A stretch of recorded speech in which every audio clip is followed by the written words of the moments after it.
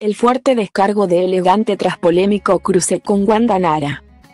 Elegante está en el ojo de la tormenta por su supuesto ataque de nervios por un gesto que Wanda Nara habría tenido con él. Y es que, el cantante decidió romper el silencio y realizó un fuerte descargo en sus redes sociales sobre el tema. Al parecer al artista no le gustó nada todo lo que se dijo de él y la blonda. Inventar algo mío es una salida segura para los medios y panelistas que viven y trabajan de hablar de los demás son de tan bajo nivel que usan el método de primero hacer la noticia y después informarse para ver si es verdad, comenzó furioso el cantante. Y decidió finalizar súper enojado con la prensa, son de tan bajo nivel que usan el método de primero hacer la noticia y después informarse para ver si es verdad. Para mí, son solo a los que les doy la mano y me agarran el codo la televisión. Este año, me hizo bullshing. Ya van a venir.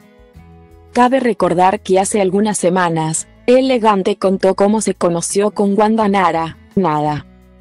Éramos dos personas que no se conocían y se fueron conociendo con el tiempo. Todo comenzó por menciones sobre la música. Fue por el tema que hice con Tini. Wanda me mencionó y yo le escribí, no me acuerdo qué. Después así, otro tiempo arrancamos contactando otra vez. Y luego me la crucé por acá, bueno después pasó todo. Nos encontramos acá varios días seguidos. No pasó nada con Wanda. Todo tranquilo, agregó. Y contó, yo me guardo también algunas palabras porque no quiero que salga nada de mí ni meter la pata. Ni caer en una de las trampas de Ángel de Brito. No estamos calientes por hablar así de cerca.